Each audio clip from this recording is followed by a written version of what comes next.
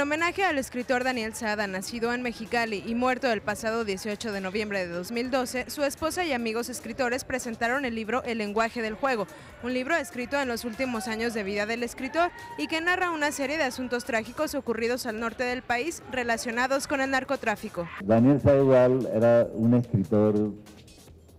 de cuerpo eh, completo y de peso completo, así, un tipo que,